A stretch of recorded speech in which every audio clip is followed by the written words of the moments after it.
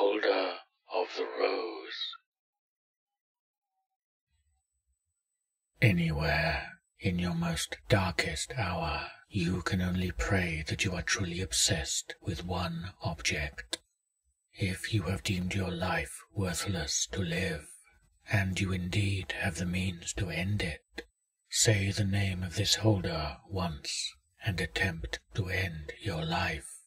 As you lose consciousness, the things around you will change, though you will barely tell.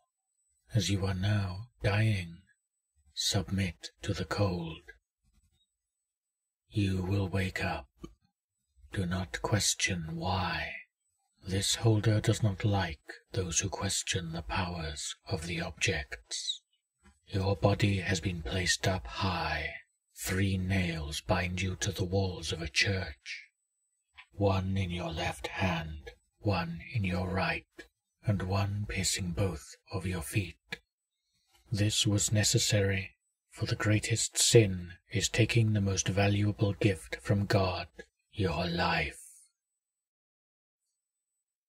If you have not been deemed tainted enough by any object, the holder will leave you here, forever nailed, forcing you to watch the churchgoers pray, thinking you are Jesus. Though they do not know it, they are praying to a false idol, which is now you. Every one of these souls will be banished to hell, and once someone figures this all out and takes you down, they will be waiting. Soon, a bright, golden light will appear before you. It will be okay to close your eyes. This light will fade, and a man of stunning beauty and grace will be floating before you. This man is not a man. It is the Archangel Barachiel. He will smile upon you, laughing at your pitiful state of mind and the situation you are in now. You must ask him one question. Which one of us did he deem unworthy? His expression will change from mockery to that of pity. He will wind up his right arm and impale you with a rose. Not just any rose, the white rose. Its stem will pierce your heart, the barbs ripping and annihilating every fibre of you that they come in contact with. Here is your final chance. You must get the rose out of you with the pure will to live, and that alone. You will struggle, thinking about your failed past, wondering why your life seemed so condemned to sorrow and depression. Yet you must look past this, find the meaning of your life, of life itself, and if you should succeed, the angel will smile upon you. The rose will fall to the ground, as will your limp body.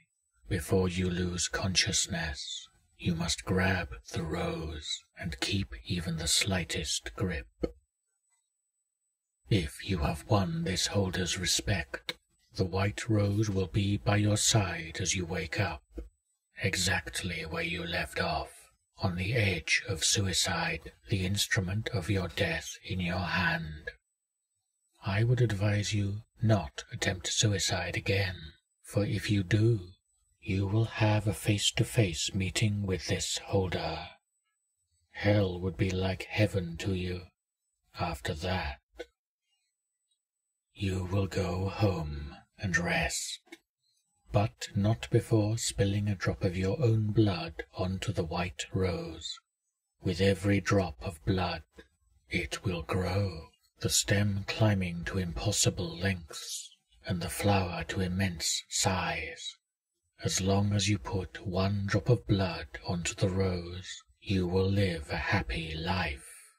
But if you should fail to quench its thirst, even once, it will be the instrument in your suicide. The white rose is object 348 or 538. The essence of beauty is unrightfully taken by its own hand.